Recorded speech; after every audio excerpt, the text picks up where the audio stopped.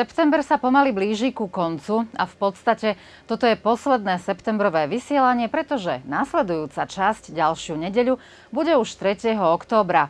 Ale ten čas rýchlo letí však. Rýchlo zletel aj minulý týždeň. My sme mali na programe veľa terénov, na ktoré sme sa vybrali a aj vďaka kameramanom, aj vďaka strihačom vám teraz ponúkame to najzaujímavejšie, čo sa v našej obci udialo. Tak začíname, nech sa páči. Žiaci sa počas školského roka určite tešia na víkend. Majú voľnú sobotu, nedeľu. Síce treba sa trošku učiť a napísať si domáce úlohy, ale predsa počas víkendu netreba ráno vstávať na vyučovanie. Inak to však bolo v sobotu 18. septembra, kedy v základnej škole hrdinu Janka Čmelíka v Starej Pazove už o 9. hodine ráno bola škola plná smiechu a hovoru žiakov. Prečo vlastne existuje pracovná sobota a či ešte nejaké budú do konca školského roku, na to sme sa opýtali riaditeľa základnej školy.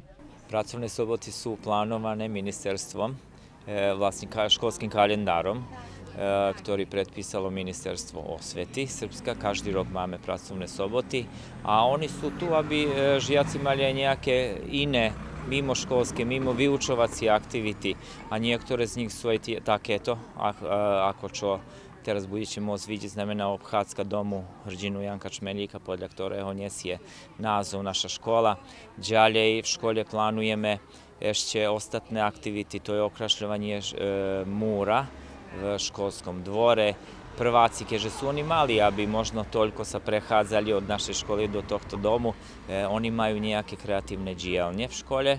Starši žijaci mali športov budu maći jedna trijeda športove aktiviti, jedna trijeda, už sam spominal, budu okrašovat školski murik, ali pracovnu sobotu naša škola mala, a i e, behom minulého víkendu, znamená minulú sobotu, keď žiaci 8. ročníka a 5. ročníka sa zúčastnili e, prechádzky pre Stefana.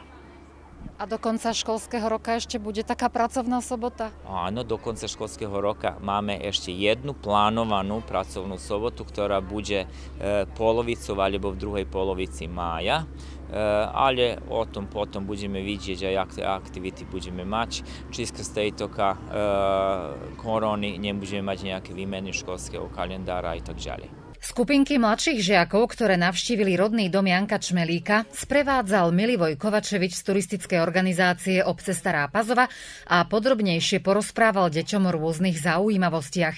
Asi najviac malých návštevníkov zaujali Čmelíkové osobné veci, bačkory, učebnice, zdravotná knižka, zbranie, bomba a náboje. Super, no. Pekne sa mi páči a e, šťastne som, že môžem vidieť, ako bolo trocha drovke, ke nie tentokrát 2000 rok aj tak. A čo sa ti najviac páčilo z toho, čo si videl? Uh, tie, tie bomby je tam aj, aj, aj tam to, čo Janko Temčmelík bol vo vojne. A toto je múzeum. Bol si už niekedy v múzeu v nejakom inom? Nie. A vieš, kto to bol Janko Čmelik? Čo si, ako, ako by si mi ho opísal? Kto to bol? Uh, Janko Čmelik bol hrdina, ktorý zachránil celú Pazovu. Chcelo sa mi ísť do škole a veľmi sa mi páči. Z toho, čo si videla v múzeu, čo najviac ťa zaujalo? Najviac ma zaujímalo tie ako bomby, to, čo mal. A videla si, aké šaty, odev sa nosil v minulosti. Chcela by si si také niekedy vyskúšať, alebo možno aj nosíš kroj? Nosím kroj aj pekne sa mi to páči. A ešte ma zaujíma, či vieš, kto to bol Janko Čmelik? Náš hrdina. A ako sa volá vaša základná škola? Janko Čmelik. Decom u kući Narodnog heroja Janka Čmelika, to jest u zavičenoj zbirci, mogu da vidi predmete s kraja 19. pa sve do, ajde da kažemo, kraja 20. veka. Najzanimljiviji, na primjer, predmeti, najstariji predmeti su razvoj, koji je iz 1881. godine, također i sprave koje su e, korišćene za dobijanje niti, znači čita proces obrade biljke konoplje, koji su staropazočki Slovaci koristili za dobijanje odevnih predmeta. Naravno, zanimljiva je kuhinja iz prve polovine 20. veka, razni odevni predmeti, da kažemo, u staropazovačkoj nošnji se sačuvala ta arhaična forma u samoj odeći. Naravno, tu je postavka o narodnom heroju Janku Čmeliku i srpska soba takođe prednja stajaća, naravno kao i slovačka. Živimo u multikulturalnoj sredini. Ideja jeste znači, da se prikaže taj suživot Srba i Slovaka na teritoriji opštine Stara Pazova. O krásny modrý dom Janka Čmelíka na Čmelíkovej ulici, v ktorom sa skrýva veľké bohatstvo, sa pravidelne stará domáca pani Vierka Podlavická. Čo vy všetko máte túto za úlohu?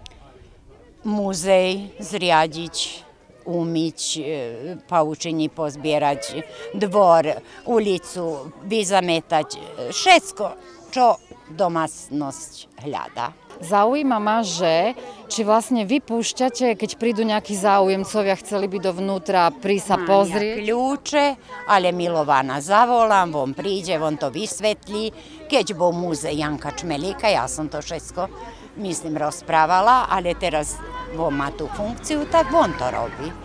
A chodia viacej deti či dospelí? Koho tak podľa vás najviac zaujíma táto? Dospelí, dospelí, penzionéri, Belehrad, Nový Sad, Zrenjan. Tak, chodia autobusom, prídu 3-4 autobuse. Pozrú sa krásne, vraj, krásne všetci sa spokojní. Starší žiaci z druhého stupňa mali počas pracovnej soboty športové a výtvarné aktivity na školskom dvore. Dievčatá zväčša vzali štetce do rúk a chlapci sa venovali športu. A dnes je sobota a vy ste v škole. Chcelo sa ti vstávať a ako sa ti páči dnešný program? Pa ja sam nechcel stać, e, uglavnom sam stalo tamo negdje okolo seđe, nego sam malo izvoljačo za nohu vidjeti. Čo tu dnes máte? Aký program s chlapcami? A, e, ti to, pa ma, mi máme tu len sportske aktivity robiš, a ti to kad tu e, kresljaj, nema nijačo. A konkrétne ty, čo si robil, akú aktivitu? Odlučio sam i- igrać futbal. Tu hráme športy, napríklad ako futbal, volejbal, košíkovú. A máš rád výtvarnú výchovu, lebo vidím, že sa tu aj maľuje. Nechcel si radšej maľovať namiesto športu? Pa chcel som, ale nie, nemaľoval som. A ešte ma zaujíma, že ako to, že sa ti chcelo ísť do školy, keď je sobota? Ako zvyčajne tráviš sobotu do obeda? Trávim tak, že pomáham doma. Napríklad čo robíš? N- neviem, Niečo po dome alebo po dvore? pa po dvore. Tu robíme jeden krásny výkres a veľmi mi je milé, že môžem tu byť e, s kamarátmi a maľovať stenu. A nevadí ti, že si sa aj zašpinila? Nie. Čo zvyčajne robíš v sobotu do obeda, keď sa nechodí do školy? Zvyčajne spím, čítam, hrávam sa so svojim domácim miláčikom a podobne. Dievčatám, ktoré maľovali na steny školského dvora Staré domy s úmyslom namaľovať rad domov, dlhú Vojvodinskú ulicu, pomáhal prednášateľ výtvarnej kultúry Jan Agarský. Je to v rámci predmetov e, kreslenie, maľovanie a sochárstvo. Keďže máme tohto roku, mám na starosti piatakov, 5. i 6. triedu, tak sme sa rozhodli, že tie hodiny e, nejako strávime tak, že budeme okrašľovať túto scénu. Pokúsime sa urobiť nejakú ulicu, znamená to bude mural, kde, budú, kde bude stará architektúra, e, vojvodinská, aby sa to podobalo aj nejaké pazovské domy a tak. Znamená, budeme mať e, v prvej časti bude akože mestský dom, že, e, ktorý je na šírku, mnoho oknov a chod cez stred budovy. A potom budú také sedliacké domy, ktoré sú, ako to hovoria, na brázdu, podĺžky. A potom ešte budeme vidieť, ako sa nám podarí, čo ešte urobíme. A ako máte rozdelenú tú prácu, lebo vidím, že aj vy ste aktívni. No, aby to bolo ľahšie, ja som si najprv otlačil tieto, moment. No, také nejaké staré, staré domy, z tej star, ktoré majú takú architektúru, ktorú my chceme e, namaľovať. A potom ja im urobím nejakú skicu, vlastne skicujem kriedou v hrubých črtách tie domy a potom už to nechám na nich, len sa konsultujeme s tým, že aké farby si dáme a tak, ale hlavne, aby sa to podobalo na nejaké staré domy. Aj to ma zaujíma, aké farby sa využívajú, keď tu aj prší, no. bude aj zima, mraz, aby to vydržalo. My sme si zobrali e, farby na fasádu, sú tu betonové farby a to by malo vydržať takých 5-6 rokov, možno viac, neviem, budeme vidieť. A ešte nám ukážte vaše ruky aj mi povedzte, ako sa toto umie. No, to, e, riedia sa s vodou, preto sme sa aj orientovali na také farby, lebo to sa dá strhnúť. Takže teraz si to umiem s vodou a potom ich ukážem. Aj keď bola sobota, žiaci mali na tvárach úsmev a predsa im takéto doobedie v škole prospelo. V tomto školskom roku by mala byť ešte jedna pracovná sobota v priebehu mája, avšak všetko záleží od epidemiologickej situácie.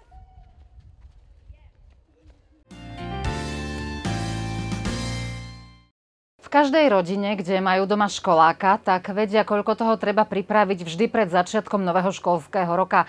Mnohí pred začiatkom septembra kupujú nové oblečenie, obuv, zošity, písacie potreby. Niekomu treba vymeniť tašku, inému peračník. Národnostná rada Slovenskej národnostnej menšiny myslí aj na žiakov v slovenských školách a pomáha im. Jednu z foriem pomoci, podpory a tiež vyjadrenia záujmu o motivovanie žiakov a zachovanie slovenského jazyka v školách prejavili členovia Národnostnej rady Slovenskej národnostnej menšiny aj v základnej škole hrdinu Janka Čmelíka v Starej Pazove, kde navštívili triedu piatakov a veru neprišli s prázdnymi rukami. Pani predsednička, chcem sa vám poďakovať touto chvíľou, ako aj mnohokrát doteraz, za všetku pomoc, ktorú vy osobne aj ako Národnostná rada poskytujete slovenským školám. E, myslím si tu na absolútno všetku, aj materiálnu pomoc, aj pomoc našim žiakom, aj pomoc ohľadom organizácií táborov, e, koordináciou učebníc, vzdelávania, nahrávania hodím aj všetkého. Ďakujeme vám veľmi, že ste nám stále pri ruke že ste ochotní nás vždy aj vypočuť, aj pomôcť, koľko môžete. Čo sa týka nás, my sme prespokojní tou spoluprácou a veríme, že tak zostane aj do budúcna. Pani predsednička vám mene Národnostnej rady dnes prišla e, rozdeliť darčeky, ktoré sú určené pre vás, piatákov, žia, žiakov 5. ročníka, ako čo to už doteraz Národnostná rada behom minulých rokov isto tak robila. Pani predsednička, nech sa páči. Ďakujem. Dobré ráno vám prajem. E, váš pán direktor dosť toho povedal a ja som svojho času sedela v tejto lavici istotne, chodievala do tejto školy, potom aj pracovala a teraz som v Novom Sáde. Som predsedničkou Národnostnej rady Slovenskej národnostnej menšiny. Teší ma, že som dnes s vami a že vás môžem potešiť s takými malými darčekami, ktoré Národnostná rada Slovenskej národnostnej menšiny venuje všetkým piatákom. Ja by som vám chcela prijať e, dobrý a šťastný začiatok školského roka. Pravda, že nech sa vám darí, aby ste získali veľa, veľa vedomostí, ale aj dobré známky. Tak, povedzte mi, tešili ste sa na školský rok, začiatok? Áno. Áno, už vám zunovalo byť doma však, aj prázdniny boli zdlhavé. Áno. A dobre je tu v škole? Áno. Super. Aby vám bolo ešte lepšie, ja aj Hviezdoslav, aj pán direktor, ktorý je tiež členom Národnostnej rady, vám podelíme darčeky, vy ich pozriete a poviete mi, či sa vám páčia. Dobre? Úsmevy na tvárach piatakov prezrádzali, že sú žiaci príjemne potešení, prekvapení a s radosťou nazerali do balíčkov, čo všetko sa tam ukrýva. Ty si sa jediná prihlásila, že poznáš pani predsedničku. Odkiaľ ju poznáš? Ona je moja strinka. Á, čo všetko ste dostali? Čo máš v taške všetko? E, do, dostala som ako e, flomastery alebo tempery. E, dostal, dostala som tieto tu veľmi pekné farbičky. E, dostala som pravítka, čo mi je baš potrebné. E, dve písanky. Jednu takú, ja takéto. Tri písanky. Uh, tuto. A ešte možno to v tej škatulke, čo to tam je? Ešte jedna písanka. A toto je jedno kružidlo. E, ceruska a gumička. A ty si vedela o tom, že budete mať dnes takú návštevu v škole? Ja som dnes nevedela. Ako si sa cítila, keď prišla návšteva? Bola si prekvapená alebo potešená? Áno, prekvapená. Ja veľmi som bola prekvapená, pretože e, nenadala som sa, že baš prídu takví, takí hostia.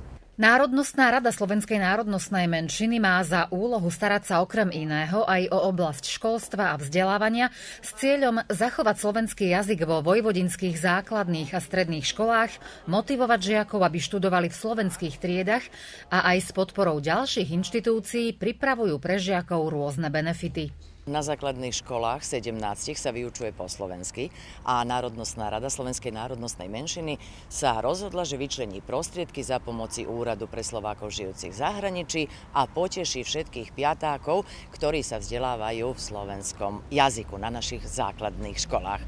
E, je to taký balíček, kde sú školské pomôcky, zošity, linonáre, kružidla a veríme, že im to bude slúžiť a že počas školenia to využijú. Pravda, že e, chceli sme im aj zlepšiť začiatok školského roka, požiadať im, pravda, že získanie mnohých vedomostí, dobré známky a dobré zdravie. Je to akcia, ktorú Národnostná rada Slovenskej národnostnej menšiny už organizuje pár rokov v koordinácii s Maticou Slovenskou v Srbsku, ktorá udeľuje našim prváčikom darčeky, darčeky, takže sme sa rozhodli, že my to spravíme u žiakov piatých tried. Viete, je to taká zmena, zo štvrtej triedy e, vychádzajú navyššie ročníky, predsa je to taký akože mini stres pre tých žiakov, kde teraz už striedajú sa viac ti prednášatelia a mysleli sme si, že by bolo dobre, aby sme ich potešili. E, robíme to permanentne, nie len e, keď sú piatáci v otázke, ale snažíme sa naozaj podporiť všetky naše základné školy, hovorím všetky školy, ktoré vyučujú v slovenskom jazyku, taktiež aj stredné školy a aj predškolské ustanovi s nje. Narodna strana nam je jako mama ta grođišovski povedane.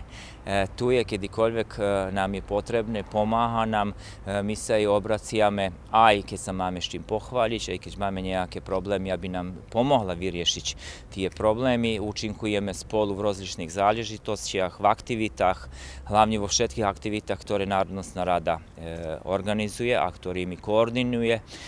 Velikim plusom, čo se tika mnjako rjadišelja, jako učitelja, bola tá naozaj výnimočná koordinácia Národnostnej rady e, od začiatku pandémie, to bolo od roku, od toho 17. E, marca roku 2020, keď koordinovala nahrávaním hodín pre žiakov od 1. po 8. ročných základných škôl. E, taktiež určitý si počet hodín je nahratých pre žiakov stredných škôl. Tie E, hođene su šetki nahrate, nahazaju se na e, webove stranke Narodnostne radije, a i žijaci, a i učitelji ih použivaju vo vijuki ako dodatošni materijal, takže to bol jedan vinjimošni krok, ktorý je premnja taki naj, naj, naj plus što se tika e, tih aktivit Narodnostne radije. V Starej Pazove existujú slovenské triedy už v predškolskej ustanovizni v základnej škole hrdinu Janka Čmelíka, no tí, ktorí by chceli študovať po slovensky aj na strednej škole, majú takú možnosť v Kovačici, Báčskom Petrovci alebo Novom Sade. Národnostná rada nezabúda ani na tých starších žiakov. Okrem základných škôl, ako som povedala, pomáhame aj stredoškolákov. Bolo nám dôležité, aby čo viac žiakov sa zapísalo do stredných škôl so slovenským vyučovacím jazykom. Tak každý ten žiak, a je ich 90, dostane finančnú pomoc v hodnote od 9 tisíc dinárov.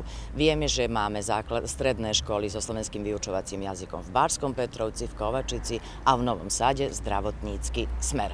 Snažili sme sa ich motivovať. Nie je to jediný dôvod, prečo je potrebné, aby zapísali eh, aj stredné školy so slovenským vyučovacím jazykom.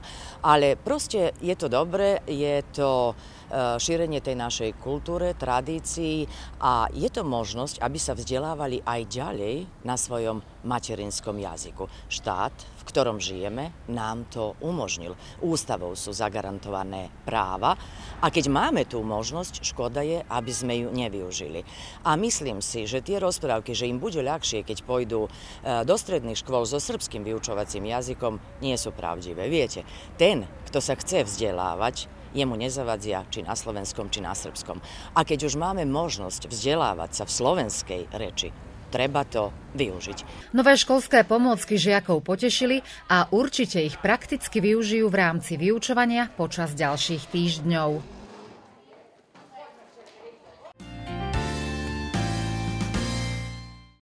Nedávno pred krátkým časom som sa v Starej Pazove v galérii Mira Brdka na vernisáži jednej výstavy stretla s akademickou maliarkou Draganou Olujičovou a keď sme sa videli, tak sme sa zvítali a hovorím, Dragana, ako sa máš, čo máš nové? A ona mi povedala, že Veru má jednu veľmi zaujímavú novinku. Tak my sme sa s Draganou stretli aj takto pomimo, aby nám Dragana porozprávala, čo je to teda za novinka. Pa novo je to že sam postala e, uh, srpsko ambasador za likovnost i za mir. To znači že teraz predstavljam jednu ambasadorku kera promoviše likovno stvaralaštvo a i mir. A to znači že u okviru toho bom imati likovne konkursi dovena s Nepalom gdje je predsjedništvo tejto organizaciji. A pošto sam profesorka likovnih, trenutno ja viac to položim akcenat, aby bolo uh, likovni konkursi za djeći troha viac, lebo mislim že im vážnejšie promovisať ten svetský mír aj likovnosť. Takže ty si jediná v Srbsku, kto má takúto úlohu a vlastne konkrétne, čo bude tvojou úlohou, čo všetko budeš musieť robiť? Jedina, jedina som ambasador za Srbiju a to znači že bome organizovati likovne konkurse, promocije, trenutno virtualno, zato že je taka situacija že se ne možemo okupljati, ali uglavnom oni hljađali s každej države najci predstavnike, a ti predstavnici, ke toto šetsko predstavnje, ke se zmjeri situacija, budeme se i okupljati i e, robić prave vistave, ker budu e, međunarodne, Takže bude veľmi zanimljivih konkursov na ďalej, aj to trvá naredne 4 roky, že som ja ich predstavnik v Srbiji. A ako sa ti podarilo, že práve teba si vybrali z celého Srbska? Pa to bolo veoma zanimljivo, zato što sam bola ih učesnica 12 raz na likovnih virtualnih izložbah od ako trva toto stanje. Takže mi ešte pre mesija dní pisali, či bi som bola ih predstavnica v Srbiji i kad sam vidjela uslovi, ipak mi to bolo komplikovano, takže sam eh, Ani nije konkurisala, potom i oni ponovo pisali, a i ponovo ma prosili nek budem ih predstavnica i potom sam naravno pristala, a i drago mi je že sam nije odbila ipak. A ešte prezradíme našim divákom aj poslucháčom, aký je dnes dátum, aký je dnes deň a čo to má spoločné Pa baš je Svetski dan mira, takže pošto je toto tak mirovna ambasada i promocija, takže na tento deň sme sa super našli rozprávame baš o tejto teme, kera je aktuelna. Nedávno som v časopise Hlas ľudu čítala jeden veľmi zaujímavý článok o manželskom páre, ktorý pochádza zo Starej Pazovy. Manželia Renerovci a už aj sedíme u nich v obývačke. A dôvodom je jedna veľmi krásna oslava Zlatá svadba. Pani Anka a pán Martin, ďakujeme, že ste nás prijali u seba doma. Povedzte mi najprv, Zlatá svadba, koľko je to vlastne rokov? Aj či je ťažko žiť v takom spolku tak dlho?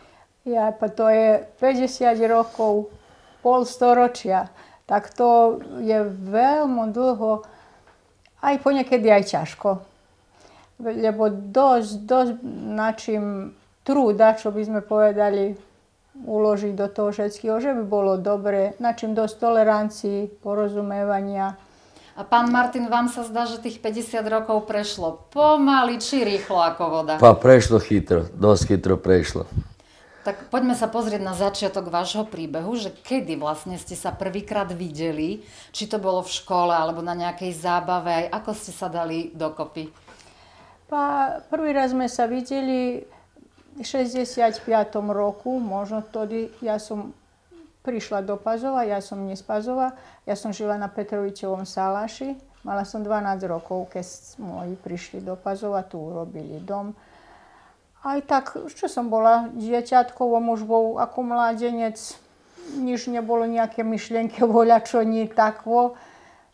Aj... A kde ste sa v škole, alebo kde ste nie, sa videli? u susedov. U susedov. Henje ulice sme žili. A vy, vy, keď ste videli pani Janko, tak ste ju hneď tak zaregistrovali? Páčilo pa nie, to bolo tak všetko spontánno.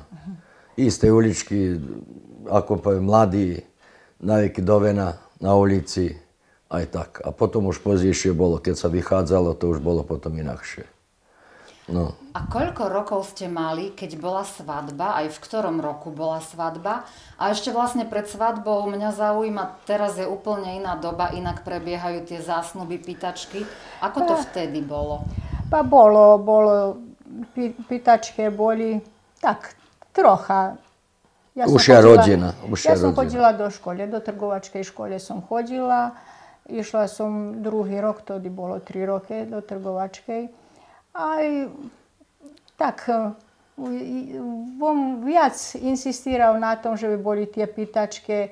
Dohovorili sme sa, že hajde, vypýtam ale ja ešte jeden rok zakončím školu, potom urobíme voľakú svadbu, tak aj moji rodičia, myslím, s tým sa zhodli.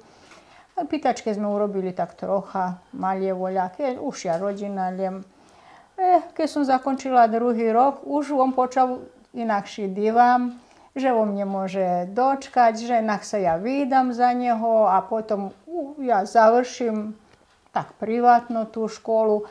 Ja som baš nebola za to, ja som mala tie také myšlienky, že si ja za, zakončím školu, že si ja nájdem robotu, trocha bom robiť, čo bola som mladúška, nie. Ale to sa všetko premenilo, ja som do školy viac neišla. Vydala som sa, a to bolo v ktorom roku? Aj ako vyzerala svadba? Bola to nejaká církevná, obecná, bola veľká, menšia? Chcel by som len volať čo povedať. Sa páči. E, za to, že ja som ostal e, veľmi mladý bez mame. 49 rokov mala mama, keď zomrela. Jedna to bude troška ťažšie. Nech sa páči. A ostal som s otcom sám. Tak potom za to to tak aj spontánno prišlo do toho, že mne bolo način tajiť do vojenčine 68 roku ja som si vojenčinu obaju, e potom sme mi všetko, že by som ja nežil sám s otcom, najdruho bolo mi način sa oženiť. E pa zato sme sa mi tak aj chytrejšie aj zobrali, aj žoravia žijeme ten život, kedy žijeme. No, je bol veľmi ťažký život. Mama mi zomrela e, marci mesiaci 68. A ja som už maj tajšao do vojske nakon tri mesiace. Nao som si oca samého, sestra mi rođena isto mlada, ostala bez muža, 65. roku. E, potom keď som ja prišiel, tašao do vojenčenja, 18 mjeseca som bol vo vojski, vraćao som sa domov, e potom sme mi to hľadili, že by sa čo drov, e potom 71. roku sme sa ako zobrali. No. A tak trošku mi pospomínajte také tie spomienky na svadbu, lebo teraz oslavujete zlatú svadbu, tak ako vyzerala tá vtedy pred 50 rokmi? Pa mne to bolo pekne. Tak bola len ušia rodina, aj ja som bola mladá, čak mala som aj venčanicu, aj šlajer, aj mne tak bolo to zanimljivo, veľmi jedom harmonikár bol. To bolo na ulici, to bola slijepa ulička, tam voľa kedy cigan mala, ak viete, tam sme my bývali drov. A potom to, to je tam, tam smerom na Novú Pazovu? Za Novú Pazovu, Boračka je no. teraz, uh-huh. ulica. Aj tak, boli sme mladí, aj mladá. Mne bolo takto veľmi zanimljivo. Aj bola som tak aj radosná, aj všetko mi to tak bolo novo, že videla som čak svadby mladých, mladencov a teraz aj sama som to... Sama ste bola ako sama princezna. Som ako, ako princezna, no aj... Tak, a ako, je. ako sa potom odvíjal váš život? Napríklad ma zaujíma, kde ste pracovali, koľko máte detí, koľko vnúčat? Máme jedno dieťa. V 71. roku bola tá svadba. A v 73. som narodila syna, Ktorému som sa veľmi obradovala. Mada som bola mladá, 18 rokov som naplnila a jeho som narodila potom v januári ako idúci rok. Veľmi som bola šťastná s ním. Ale tak všetko so strachom, nevedela som nič okolo detí. Ne, nemala som nejaké iskústvo, nikde som nemohla prečítať voľačo, alebo že by mi voľak to po, poviedal voľačo, ako način s tým dieťaťom. Čo. To tak, som sa chcela opýtať, či ste mali okolo seba niekoho, ni, kto pomohol. Nie, mama moja, ona chodila do robote, nebola doma. Tu bola svekrv, ale nie ani práva svekrva. Otec sa oženil, mhm. druhá mamika, boli veľmi dobrá žena ale staršia žena, tak aj voľako ja som nikomu to nedala. Myslela som, že ja to za, ipak najlepšie urobím sama okolo neho. Aj krásna beba bol. Da mám slike, teraz by vám ukázala Dajana, keď sa narodila vnúčka, istá ako on. ako na, na neho ličila na syna. Takže máte jedného syna Jed... a pán Martin, vy by ste nám mohli porozprávať, koľko máte vnúkov, aj akí sú veľkí, starí, pa, aký máte vzťah? Máme dvoch, myslím, unučku aj unuka. Dajanu aj Davida. A akí sú starí? To sú základoškoláci či starší už? E, mladý. Unuka má 13 rokov a 18 rokov naplní vnúk teraz 1. novembra. A trávite spolu no. voľný čas, či? Pa viac sa oni svoje? teraz ako odrasli, oni viac volia byť sami aj tak. No, vychádzajú do školy aj. A keď verejnosť počuje, že niekto oslavil zlatú svadbu, čo je neuveriteľných 50 rokov, ja viem, že ideálny pár neexistuje. Boli aj medzi vami nejaké nezhody, konflikty, problémy a ako, ste, ako sa vám podarilo Eh, ich proste riešiť. Čo je dôležité eh, v tom živote človeka, aby sa riešili manželské problémy? Bolo problémov, veľa bolo problémov s tým, že, ako poviem, boli sme prázdnych rúk, nič sme nemali, všetko sme si išli od počiatku, stvárali sme si všetko sami, bez ičej pomoci voľa, kto, že by nám pomohol, ako čo je. To moji rodičia isto nemohli, jeho ni. Takže sme všetko sami robili. Z tej strane bolo veľmi ťažko. Bolo aj pekných prípadov. Mali sme družstvo, družili sme sa, schádzali sme sa tak, volili sme vo mne pecároš, išli sme na pecania popri ňom a ja som to zavolela strašne, tak ja som pecala ryby, boli, chodili sme na kampovania, Vtedy bolo cez zimu družstvo, sme sa skup, okúpili, kar, karty sme hrali, aj tak. Večerom, no. Veľmi myslím, boli sme radosní, mladí, zdraví, nerozmýšľali si, nič nám nebolo ťažko, nerozmýšľali sme, aj sigurno tak nikto mladý nerozmýšľa, že ostarie, že príde choroba, alebo čo, ako čo A to mňa. skôr, ty, skôr z takej pozitívnej stránky o tom hovoríte, ale ak náhodou prišiel nejaký problém, kto z vás je taký, že mm, ako sa hovorí, že prvé husla, alebo kto je taký dominantnejší? Ja. Alebo bolo aj trieskanie dvermi a potom treba a... tam trpezlivosť, alebo ten taký recept na šťastné manželstvo ma zaujíma. Trieskanie dverí bolo, ale zo súprotnej strane, lebo i, e, inakší sme charaktery. My sme ako dva svety, baž ako by som povedala, vo mne inakší charakter, ja som inakšia. Aj vám hneď voľa ako to, stajme to tak...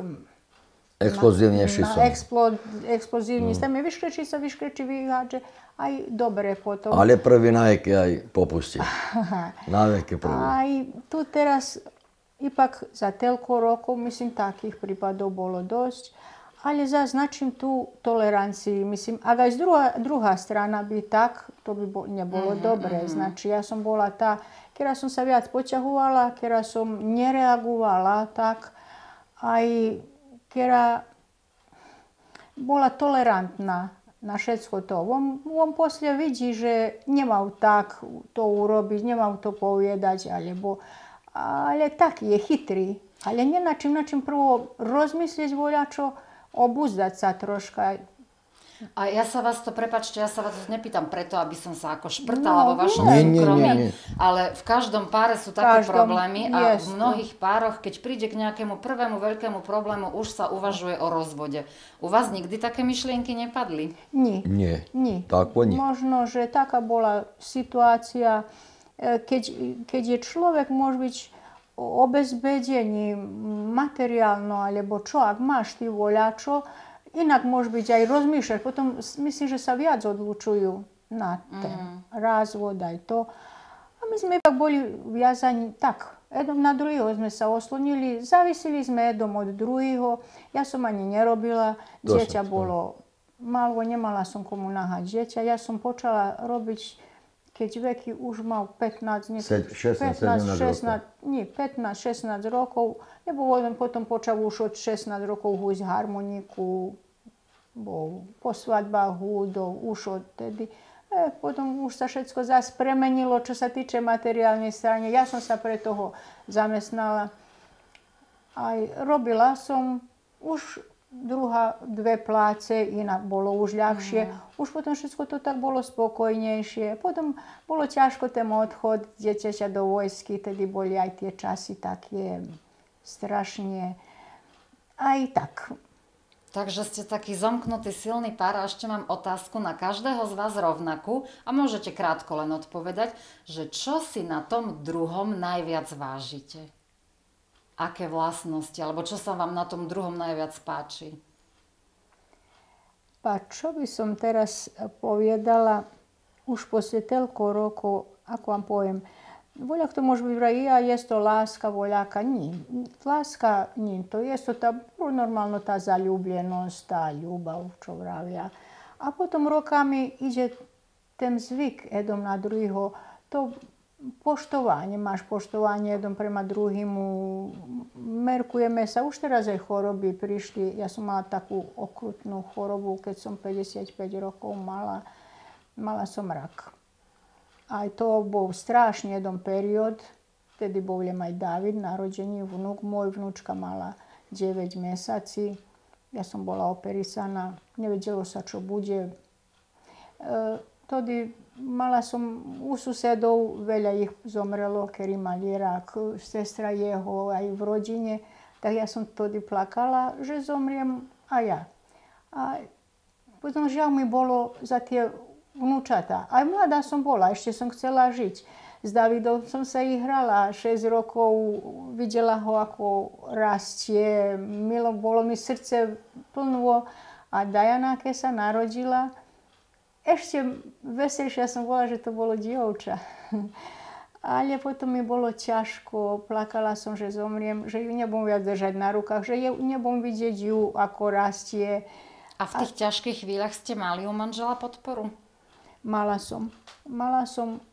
E, liečenia mi trvalo 9 mesiací, mala som tie chemoterapie veľmi ťažké, kde mi von bol podpora, on ma vozil na tie chemoterapie, ja som primala po 8 hodín, 7 bocov. On šetal po Zimunskom parku, po keji, nosil mi vodu, že by som pila. On mi bol najväčšou podporou. Tak Aj, si sa z toho dostali a teraz je všetko v poriadku? Všetko v poriadku, ďakovať Pánu klop, Bohu. Klop, klop. Aj som ja s mojima unučienci, s manželom, s mojimi deťma, s mojim synom, mojou nevestou, ktorá mi je ako dcera moja, všetci sme spolu dovená, šťastní. Ako pekná, veľká rodina. Veľká rodina. A ja by som ešte slovo chcela vrátiť pánovi Martinovi, lebo my sme sa zarozprávali, ale tá otázka bola aj na vás určená, že aké vlastnosti si na svojej žene vážite, alebo čo sa vám tak najviac na nej páči. Ako by povedal, ako aj každá žena, čo sa radia, voľa čo nabaviť, uvariť, upiesť, Takže bola taká starostlivá, pekne sa starala. Na veky, na veky, na veky. No, nikda ma, keď idem tak do centru, lebo voľa kde do obchodu, nedá, že by som tašo taký, aký som, alebo čo ja robím doma, voľa čo robil som s tou braváriou, aj privátno, aj tak.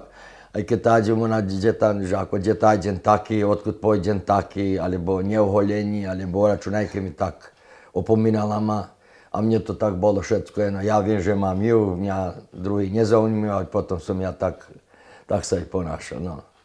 Takže 50 krásnych rokov a aj ste to oslavili? Aká bola oslava Zlatej svadby? A bolo trochu tu doma, sme robili už, vonku. Už kruhu. Už tá, táto korona, tak potom my sme len boli, moja sestra s, s jej manželom, aj svatka naša, Jasminkina mama, aj to bolo to. A možno tak na záver, že čo by ste sami sebe zaželali ešte do ďalších a ďalších spoločných rokov? Pa, čo sa týka mňa, ja by som e, zaželala len zdravia. Veľa zdravia všetkým, nám, aj mojim deťom, aj vnúčatám, že by sme boli všetci zdraví aj ďalej takí radosní, aj veselí, ako čo sme teraz. Veľmi som ponosná na tie moje unučience. Oni majú tako detstvo mali veselo, aj zadovoljni sa, teraz ako deti. Veľmi sa veseli, radosni, zadovoljni, skromni. skromni, mislim. Skromni sa. Tak s obzirom na túto koronu, aj toto všetko, na ten rozdiel, to nás telko rozdelilo od všetkých. Oni pekne to všetko prichvatili. E tak by som žiadala, že by aj ostalo. Na prvom meste len zdravia, zdravia aj tá zdravia. sloga v rodine, porozumevania, odpúšťania jednom druhému, lebo nikto zmení bezriešný, voľa kto voľa čo, aj tak povie nechotice, voľa čo, ale za to sme tu, že by sme sa porozprávali, že by sme povedali jednom druhému, čo máme. Aj to všetko, čo je nepekne odhodiť, pekne zase ďalej lebo človek sám sebe myslí urobiť život. Ako sme starší, to všetko vydržame. Ako myslíme, aj len vyhadzovať všetky tie lošie mysli z hlavy, myšlienky tie, len pekne rozmýšľať, lebo potom tak sa nám smatram pekne aj dešal, aj pekne sa áno. osetiame. Áno, to ste povedali veľmi krásne. Vy súhlasíte, chcete možno niečo doplniť ešte? Že čo by ste si želali do ďalších spoločností? Plne zdravia, zdravia čo je človek starší, všetko je ťažšie. Ťažšie to e, podnášam, ako by povedal. Chcel by voľačo a nemôžem. E, s tým sa myslím pomieriť. Tu je syn, tu je unuk. Teraz oni to viac, ja pripomôžem, keľko môžem aj tak. No. Tak ja vám veľmi pekne ďakujem, že ste si našli čas, že ste sa verejne podelili Ďačne. o váš príbeh a myslím si, že si môžeme brať príklad z toho, čo ste nám tu porozprávali, lebo je naozaj ťažké byť v páre tak dlho, tak je. ďakujeme je. veľmi pekne a želáme vám ešte veľa, veľa šťastia, lásky aj krásnych chvíľ v ďalších rokoch. Ďakujeme. Ďakujeme aj my.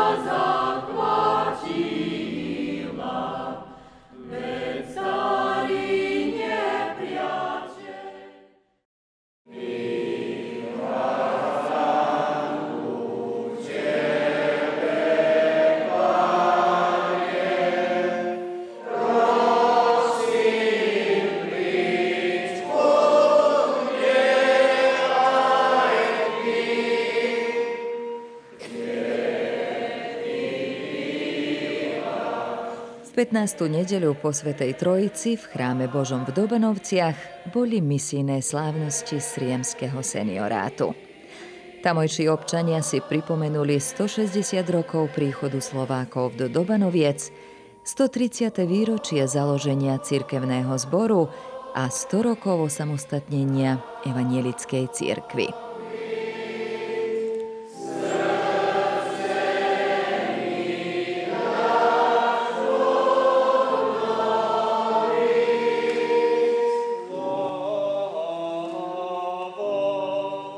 Práve sa skončili služby Božie misijnej slávnosti Srienského seniorátu tu na v Dobanovciach, kde sme spoločne predstavitelia takmer zo všetkých našich srienských cirkevných zborov oslavovali hospodina za 160 rokov od príchodu Slovákov do Dobanoviec, 130 rokov od založenia cirkevného zboru v Dobanovciach a taktiež sme si pripomenuli aj storočnicu našej cirkvy.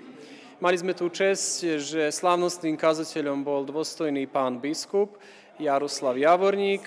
Taktiež sa nám prednáškou prihovorila pani farárka Svetlana Vojniťová Feldiová a sme vďační, že krásnu organizáciu znesli na svojich pleciach Dobanovčania na čele s ich zborovým farárom a čestným seniorom Jánom Vinkovičom, ktorého sme si uctili 37-ročnú službu v tomto cirkevnom zbore. Práve sa skončili služby Božie, sme takí nadšení z Božieho slova a povzbudení k tomu, aby sme to evanielium, tú radosnú správu šírili aj vhod, aj v nevhod, teda aj v tejto zvláštnej pandemickej situácii. Cirkevný život si dobanovskí Slováci začali zariadovať v druhej polovici 19. storočia. Roku 1900 tu žilo 313 Slovákov, a vďaka vzmáhajúcej sa cirkvi a prílivu nových osadlíkov začali stavať modlitebnicu. Predtým služby Božie mali spoločne s evanielickými Nemcami.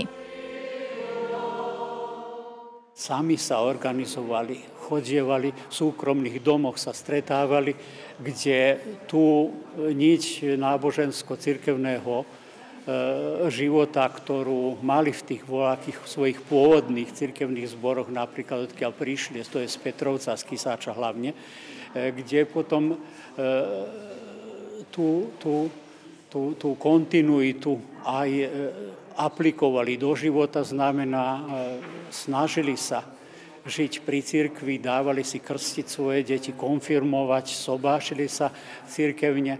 Takže fakticky oni boli len formálno právne ako e, nezriadená filia, ale fakticky v skutočnosti boli od začiatku jedna môžeme povedať, solidná kresťanská e, filiála, ktorá potom sa po osamostatnení 1891 roku hneď e, začala vážne sa aj rozmáhať, aj duchovne, aj materiálne.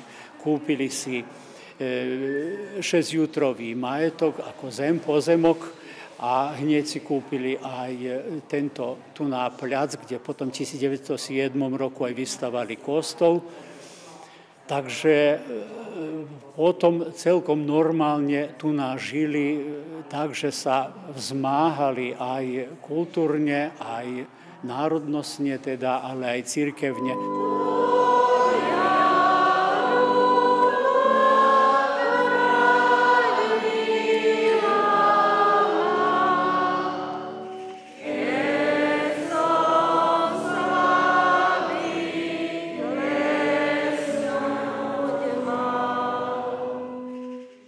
Koncom rokov 50. tu bolo skoro 500, 500 Slovákov.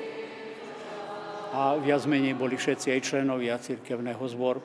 Odtedy potom to išlo už dolu vodou. Začalo spriemyselňovanie e, štátu a potom s tým vlastne sa tu mnoho toho narušilo, nikdy viacej nebolo tak, ako bolo. Mladí sa zamestnávali v meste, odchádzali do mesta e, už nebola, nebol ten život, aký bol predtým. A aj všetko to potom nehávalo následky aj na kultúrny, aj národný, ale aj na církevný život. E, klesala e,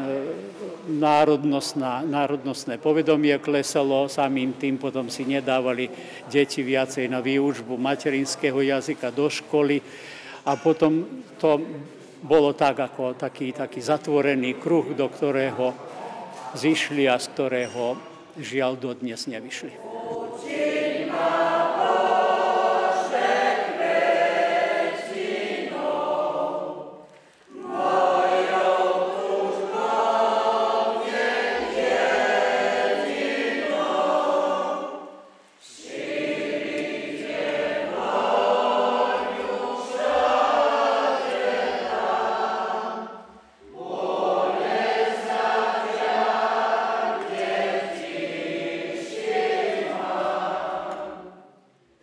Je tu tak cirka 220 e, veriacich, či už Slovákov. V 2001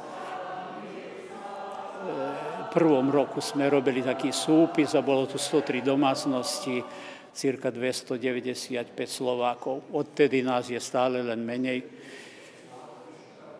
Včera sme mali prvý krst po mnohých rokoch, keď sme krstili dve deti a pochovávame permanentne 5 až 7 našich členov ročne, tak môže sa to celkom ľahko vypočítať, že máme ten saldo vždy jeden, jeden veľký mínus.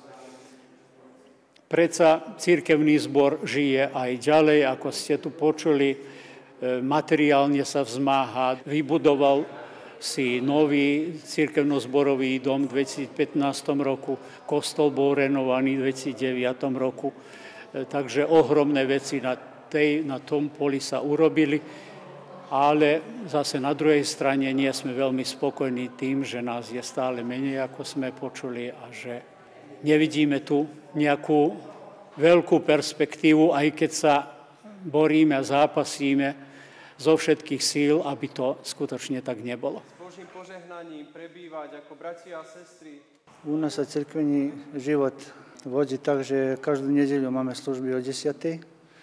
tradične a lebo my sme samostatný cirkvení zbor, nemáme vlastného zborového faráru, tak nám dochádza náš pán senior z Boľoviec.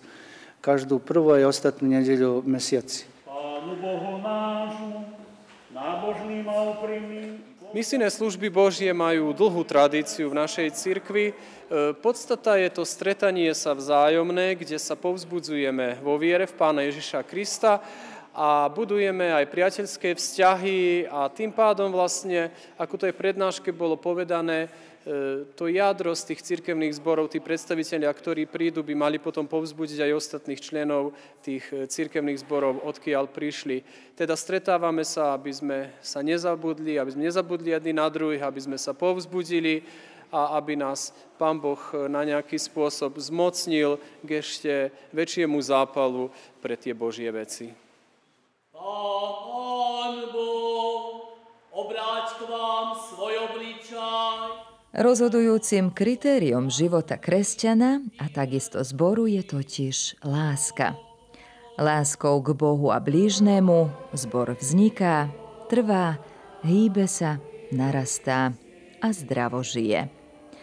Církev je povolaná k tomu, aby uctievala Boha – a to sa deje prostredníctvom toho, že hospodina sme položili na prvé miesto v rebríčku hodnot a jeho vôľu uprednostňujeme pre všetkým ostatným.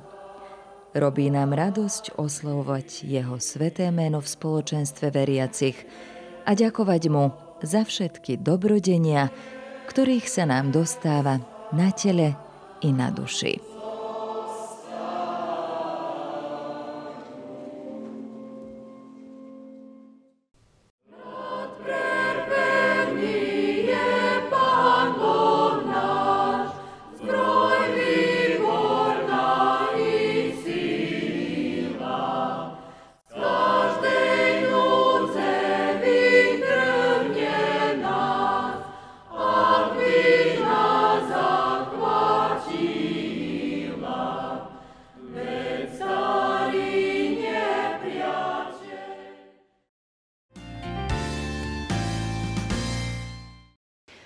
Dnešnej relácii bola reč aj o Dobanovciach, o 160. výročí príchodu prvých Slovákov do Dobanoviec. Už teraz vám chceme dať do pozornosti program, ktorý bude v sobotu 2. októbra v Starej Pazove. Najprv o 17. hodine v klube VHV bude zaznamenané z T výročie od založenia Spolku pazovských žien a v rovnaký deň o 19. hodine v divadelnej sále sa budú konať ústredné oslavy 250. výročia od príchodu Slovákov do Starej Pazovy. Ale o tom všetkom vás ešte budeme informovať dodatočne pár dní pred oslavami, a to aj prostredníctvom Rádia Stará Pazova, aj prostredníctvom informatívneho televízneho bloku správy. Tak sledujte a počúvajte nás aj naďalej. My vám ďakujeme za priazeň a želáme krásny zvyšok dňa.